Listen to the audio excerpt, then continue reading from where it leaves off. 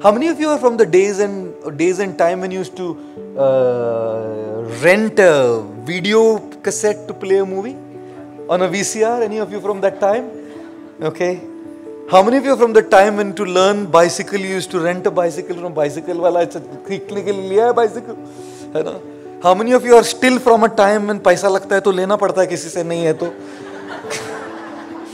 You know which is the best best law of finance?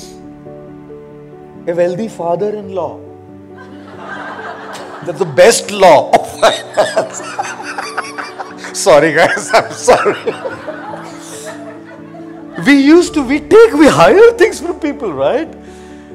When you lack strength, like you'd have, you would take a, a video from a parlor or a bicycle to learn.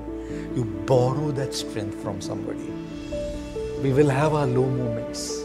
We need to borrow that strength from somebody to get us through that phase. Motivation will pep you up. Discipline will help you continue what you got pepped up by. Motivation doesn't last every day. Discipline can keep you going every day, right?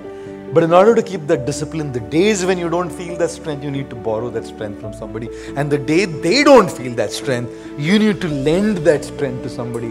When you're going and working out in the gym and you have a gym partner, it's much easier than when you're alone because when you don't feel like, you go to the chal yaar, kar lete. Aaj, you know?